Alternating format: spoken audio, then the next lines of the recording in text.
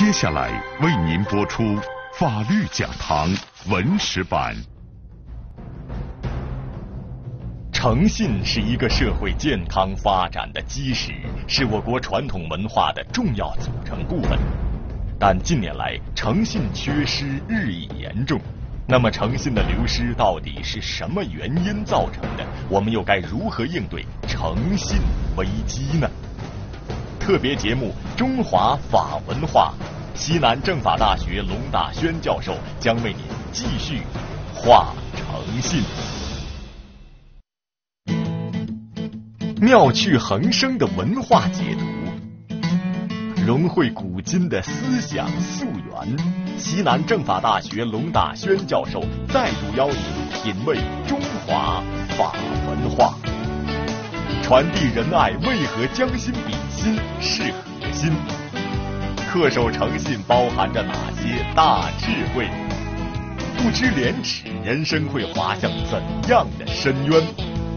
侠义精神除了拔刀相助，还有哪些新的内涵？穿越历史长廊，品味传统文化。社会与法频道暑期特别节目《中华法文化》，邀您共赴文化的盛宴。观众朋友们，大家好，欢迎收看法律讲堂。有一个人呢，他去找别人借钱。别人呢不愿意借给他，他就给别人又是下跪又是叫爷爷的，搞得别人不好意思，只好把钱借给了他。回来的路上，同行的人就说他说你这个人借点钱嘛，还给人家下跪呢。结果他得意地说，等到还钱的时候，有他向我下跪叫爷爷的时候，这是什么呢？这就是诚信缺失的一种表现。那么当今社会诚信危机。还有哪些表现呢？商人为了利润的最大化，不惜用变质的材料做成食品，不惜用硫磺来熏制生姜，甚至于将黑心棉拿来做成被套，在水果上抛光打蜡，如此等等。所以我们现在买的水果，你放几个星期它都不坏，我把它叫做永垂不朽。有一个人呢，喜欢古董，自以为很懂行。有一天呢，他就在市场上淘到了一个青铜器。卖主跟他说啊：“我这玩意儿那可是宝贝，西周的。”他高价把这个青铜器买回来，非常高兴。后来又去找专家鉴定，专家看完了之后说：“你这个不是西周的，是上周的。”不过上个星期才造出来的假货，大街上的乞丐，或者唱着悲惨的歌曲，或者在地上用粉笔写下悲惨的身世，本来应当是催人泪下的，但是过往的行人却视而不见，听而不闻。你说这些人都没良心吗？不是的，是因为人们。从很多报道当中得知，乞丐里面也有专门的行骗团伙，叫人真假难辨。连乞丐都有假的，还有什么是真的呢？我看到这么一个例子，或许能集中体现诚信缺失的危害。说有个小伙子，他去买烟，他呀拿了五十块钱，他要买一包二十块钱的烟。结果老板呢给他找了四十块钱，多找了十块，他揣到兜里就走。老板就说：“哎，小伙子，烟还没拿呢。”嘿，小伙子就感动了，就回来把烟拿了之后啊，他又摸出十块钱，说：“老板，你还多不要我十块钱呢。”他刚刚要走，老板就说：“哎，小伙子别走，我再给你换包真的。”这老板也被感动了。所以，人人害我，我也在害人人。这就是诚信缺失给我们带来的最大的惩罚。作为中华民族的优秀传统文化，诚信为什么到近代会有所流失？这些年来，我们的社会结构到底发生了怎样的变化？这些变化和诚信的流失有什么关系？我们的教育和法律在构建诚信的过程中还能做些什么呢？特别节目《中华法文化》，西南政法大学龙大轩教授为您继续化诚信。诚信作为中华民族的一种优秀传统文化，为什么到现在却流失了呢？它的原因在哪儿呢？前面我们讲到，诚信文化形成的原因主要在社会结构、文化教育、法律保障，主要在这三方面。那么，诚信缺失的原因是不是也能从这几个方面去找到呢？首先，我们来看看社会结构。我们现在已经由农业文明转向了工业文明，社会结构由熟人社会转向了市民社会。所谓市民社会，就是一个陌生人的社会，大家同住在一个小区，彼此都不认识。你遛你的狗，我散我的步，他跳他的坝坝舞，那真是鸡犬之声相闻，老死不相往来。人与人之间不需要熟悉，也不会互相帮助。当然也不会互相戳是非，这就是市民文化的基本特征。在这样的社会结构当中，大多数情况下，人是和陌生人在打交道，不诚信的行为似乎不会付出更多的代价。说有一个人他在市场上去买了一块肉，回家的路上呢，他突然内急要去上厕所，他一想啊，把肉带在车里面，心里想起很膈应。我想，朋友们肯定也有类似的心理矛盾，于是他就把肉啊挂在厕所外面，就进去了。这个时候刚好来看，咦，这儿还有一块肉呢，不拿白不拿，他就把肉拿下来。刚刚拿下来，里面那个人就出来了，一看他的肉不见了，就跟他说：“刚才在这儿，咋肉就不见了呀？”这个陌生人赶紧把肉啊就叼在嘴里，然后批评那个人说：“你看，你看，你也是太不小心了嘛。”你要像我这样把肉叼在嘴里，然后再去上厕所，怎么也不会丢啊！然后大摇大摆就进厕所了。城市化的发展在给我们带来越来越多的繁荣的同时，也给我们带来了越来越多的冷漠。当面骗人都不会脸红的。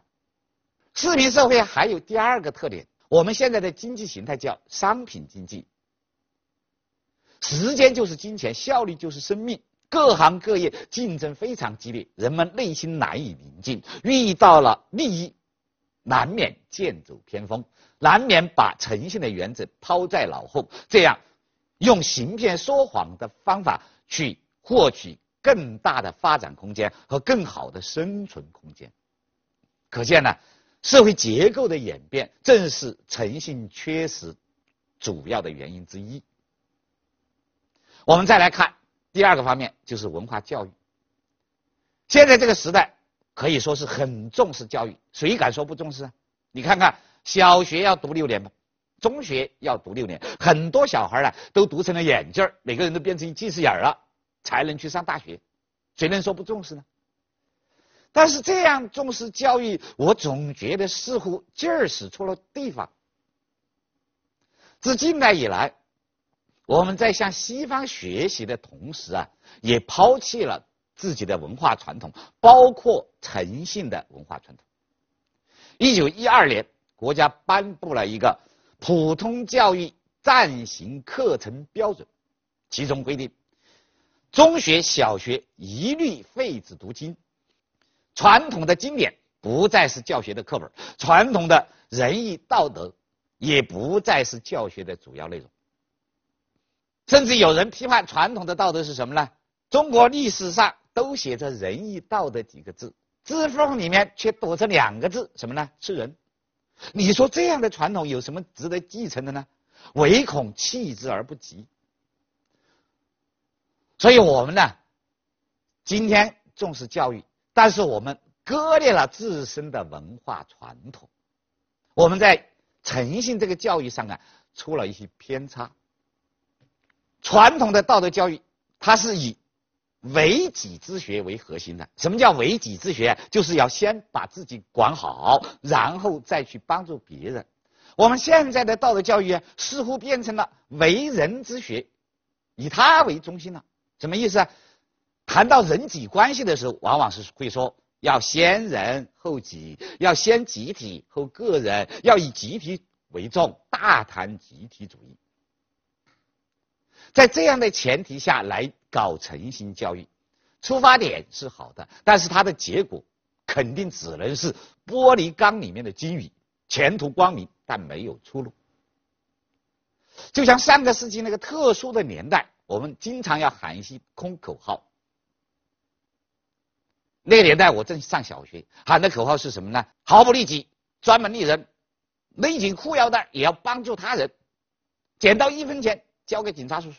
那个年代我们都吃不饱饭，红薯出来吃红薯，土豆出来吃土豆，还要说生活很好。我们一日三餐都不一样，早上吃的是土豆，中午吃的是洋芋，晚上吃的是马铃薯。你想在那个年代，在那样的时代，自己都吃不饱，你还要求他毫不利己、专门利人去帮助别人呢？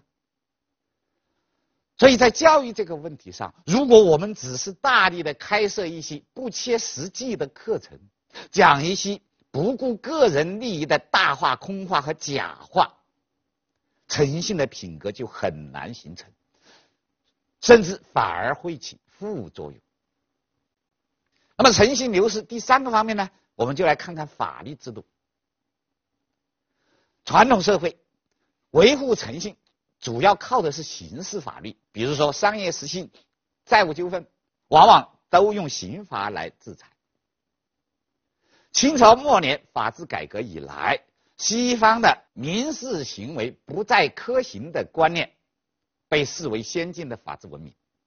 诚信作为民法当中的一个基本原则，也就不再用刑法来调整了，而换成民事责任方式来调整。现行的民法通则当中规定的民事责任方式总共有十种，最常见的呢就是返还财产、支付违约金、赔礼道歉等等。那么中国人长期以来啊，形成了一种法律观念，叫做犯法，只要你违反了国家法律，就叫犯法，犯法了就意味着要打板子、要坐牢，甚至要砍头。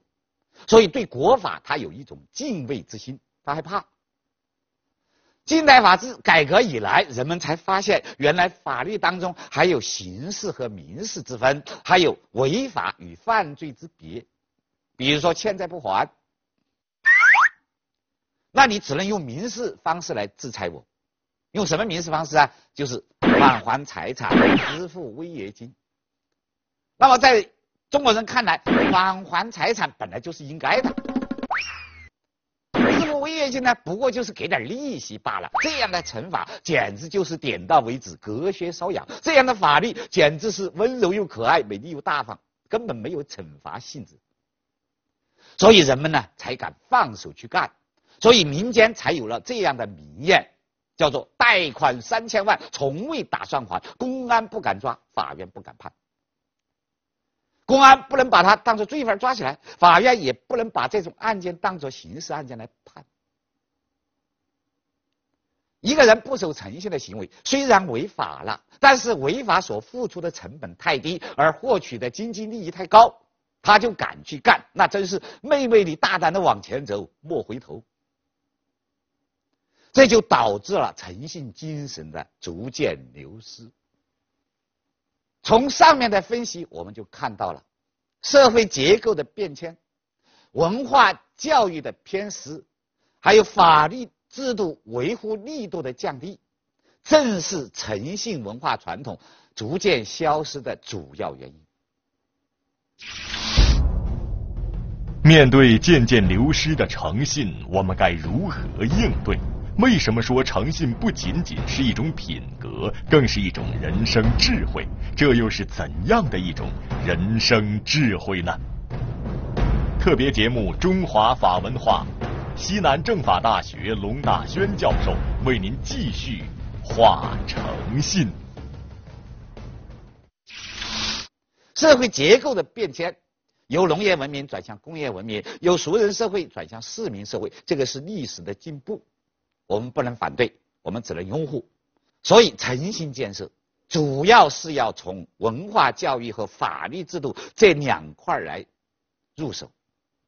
用文化教育的方法引导大家守诚信，用法律制度去惩治那些不守诚信的行为，两手都要抓，两手都要硬，长期坚持方能见效。但是在诚信建设这个问题上，文化教育该怎么搞，法律制度该怎么搞，需要全社会的人群策群力，大家都来出主意，想办法。我认为，在诚信这个问题上，不管是文化教育也好，法律保障也好，都应当按照两个方向来做。第一个方向呢，就是把诚实信用当做一种高尚的品格来追求。著名思想家荀子说：“夫诚者，君子之所守也。”诚实信用是君子恪守的人生信条，是一种高尚的品格。一个夸夸其谈的人，一个言而无信的人，一个只会说假话、空话的人，他就会被社会鄙视，他永远也成不了君子。某个官员呢，特别喜欢夸大政绩，他给别人说：“嘿，我这个辖区啊，养的牛又肥又大，牛腿站在江北，牛。”头啊，可以伸到江南去吃草。别人就说：“看来你还会吹牛皮哎！你要是不会吹，天下哪来这么大的牛皮才能包住这么大的牛呢？”嘿，这个官员又吹，说我这个辖区还是鱼米之乡。我前几天去钓鱼，居然钓起来一只鳖蛋。什么是鳖蛋呢？就是王八下的蛋。别人就说：“王八蛋光溜溜的，你怎么钓得起来？”嘿，他说。那个王八蛋呢，裹在草里，我的鱼钩啊刚好挂在草上，就把它扯起来了。别人就骂他说：“看来你不但会吹牛皮，还会扯蛋。”所以，一个说大话、假话、空话的人，别人当场就可以讽刺你、嘲笑你；反之，一个诚实的人，一个守信用的人，就会得到别人的尊重，就能成为君子。鲁哀公曾经问孔子，他说：“我听说啊，魏国有一个人叫哀太他，这个人长得奇丑无比，但是呢，男人和他在一起啊，会感到很开心，甚至于舍不得离开他。女人呢，纷纷想嫁给他做小老婆。你说这事儿怪不怪呀？这其中有什么道理呀？”孔子就说：“啊，哀叹他这个人确实长得很丑，但是他心灵美呀。”他为什么心灵美？因为他有诚实、信用的品格，甚至他已经达到了未言而信的程度。就他不说话，别人都会相信他。这正是男人和女人都愿意跟他在一起的原因。我们今天说某某明星男女老少通吃，有很多追星族，那是因为他有高超的演技。而两千多年的哀叹他。那也是男女老少通吃，拥有很多粉丝，那是因为他有高尚的品格。一个人能做到诚实为人、内不欺己的时候，他一定是自豪的。历史上那些拾金不昧的人，正是具有这种品格的君子。在今天的生活当中，根据新闻报道，这样的人也不在少数。有的哥、的姐。有机场的值机员、保洁员，有公交车的司机和售票员，甚至还有大楼的保安。当这些失主向他们表达真诚的谢意的时候，这些人往往会说：“不用谢，这都是我应该做的。”此时此刻，他一定是自豪的。当一个人能做到信守承诺、外不欺人的时候，他一定是高大的。山东青州。有一位农民叫郭庆刚，他和人呢在一起呢做收购生姜的生意。二零零八年呢，生意陷入困境，其他人呢就把一百二十万的货款给卷跑了。那么面对这本来应该付给姜龙的货款，郭庆刚没有推脱，没有逃避，而是说了一句真真誓言，他说：“砸锅卖铁。”也要还钱。这个时候，他的形象是高大的。郭庆刚用了五年时间，把这些货款全部付清了。为此啊，他获得了第四届全国诚实守信道德模范的荣誉称号。那么讲到这儿，可能有些人就会反对，说品格再高尚，能当饭吃吗？良心值几毛钱一斤呢？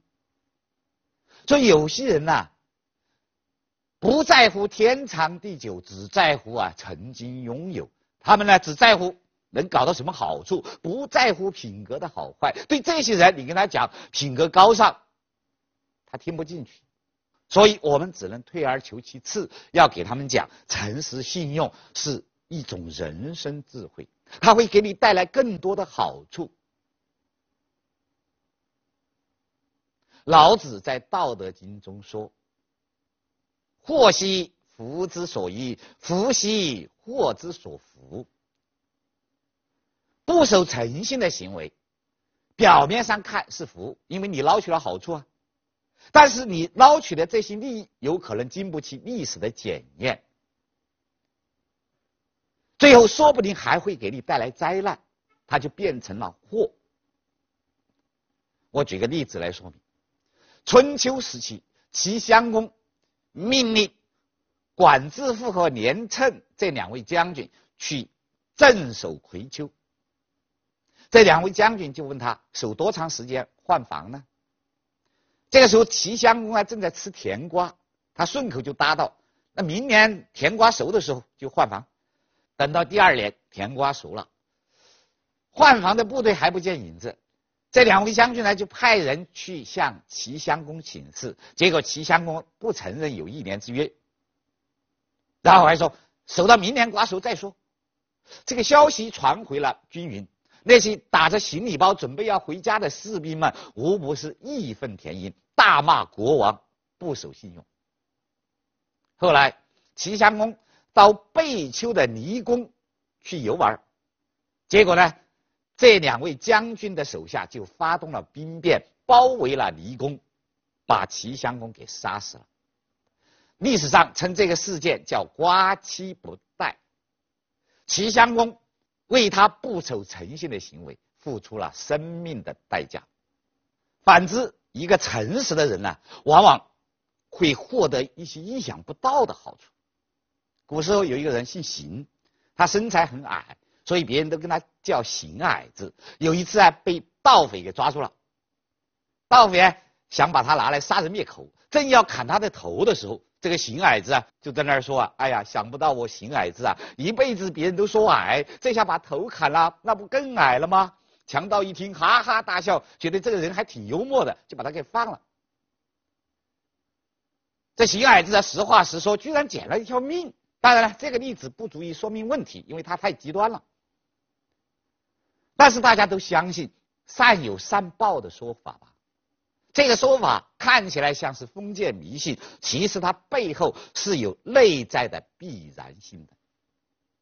第一，一个具有诚实品格的人，他不会欺骗自己，自己认准了目标，他一定会奔着那个目标去做，不达目的誓不罢休。久而久之，就会形成坚强的意志和超强的能力。一旦有机会，他就会走向成功。就是所谓的，你给点阳光，它就会灿烂。也就是我们经常说的那句励志名言：成功的机会总是留给有准备的人的。第二呢，一个具有诚实守信品格的人，就会赢得社会的尊重，就会赢得他人的信任，别人就会给你提供更多的机会。安徽全椒县。有一个村民叫刘恩莲，她丈夫死的时候啊，对外欠下了二十几万的债务。这些债主们呢，一看现在这个家庭呢，孤儿寡母的，上面还有一个七十多岁的老太太，都不打算再要了。结果刘恩莲教育他的两个女儿说：“别人不要那是别人的事儿，我们一定要想办法把这些债务还清。”如果我们不还清债务，那别人就会说我们不守信用。如果我们落下了不守信用的名义，那么我们在这个社会上就没有办法立足。于是啊，他就坚持白天和晚上去打两份工。省吃俭用，用了五年时间，终于还清了所有的债务。他的行为感动了周围的人，也感动了整个社会。在二零一四年四月，全国文明办主办的“中国好人”的评选活动中，刘恩年顺利入选，而且他还在当地妇联的帮助下，顺利的进入了一一家工厂工作，衣食住行都有保障了。这正是诚信给他带来的回报。古人说：“智者之虑，必杂于利害。”一个聪明人考虑问题啊，既要考虑有利的一面，还要考虑有害的一面。从长远的角度来看，不守诚信很可能会给你带来灾难，而信守承诺很可能会给你带来更大的利益。我们即便不愿意把诚信当做一种品格来追求，做一个高尚的人，那么我们为什么不愿意把诚信当做一种智慧来对待，做一个聪明的人呢？谢谢大家，再见。